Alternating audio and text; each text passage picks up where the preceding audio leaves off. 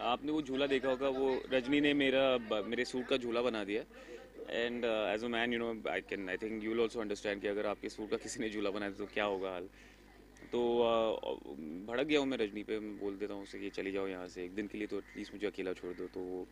I think एक दिन के लिए कहीं चली जाती है। सर तो आपको झूला झूलना पसंद है रियल लाइफ हाँ सबको या बचपन से सबको पसंद आता है वो। तो हाँ पर वो ऐसे झूल झूले पे झूलना थोड़ा अजीब है। जब आपका सूट वहाँ टंगा हुआ दिखता है आपको तो अ, पर हाँ झूला किसे नहीं पसंद है झूलना? तो किसने झूला बनाया है जो आपके सूट से? रजनी वो तो कहाँ चली गई है वो अचानक? अभी तो स्टोरी हमें भी नहीं पता आगे की तो हम कल्मिनेशन पॉइंट पे है और ओपन एंडेड एक कल्मिनेशन रखना चाह रहे हैं हम because there might be a possibility of a season two also so who knows so we are waiting for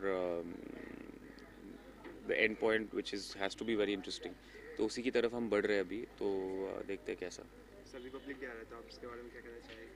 कैसे सेलिब्रेट करने वाले हैं? रिपब्लिक डे पहली बात तो गणतंत्र दिन जिसे कहते हैं हिंदी में तो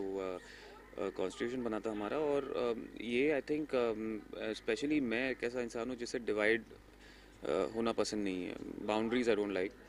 पर जो भी है for state for the country's convenience and for you know country to be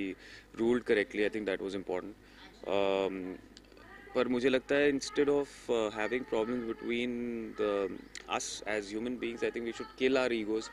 एक बहुत सारा जो ईगो अंदर हमें भरा पड़ा है कि हम जीने नहीं देते, लोगों को खुद भी नहीं जीते, वो आई थिंक हमें सीख मैं तो सीख चुका हूँ मतलब मैं चाह, मैं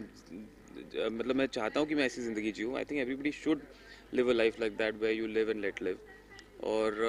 जस्ट बी लिटिल करप्शन जो हमारे कंट्री में वो धीरे धीरे जा रहा है। I am very happy that it's happening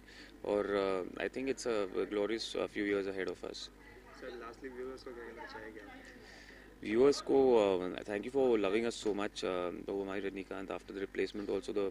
show was like and unfortunately एक uh, एक होता है कि एक शो का एक लिमिट होता है और मुझे पता था कि एक साल का एक जॉनर एक एक एक टेन्योर होने वाला है इस शो का एंड वही हुआ और आई थिंक होपफुली अगर शो होगा तो सेकंड सीज़न होगा but it should get a second chance because it's a very good show thank you sir thank you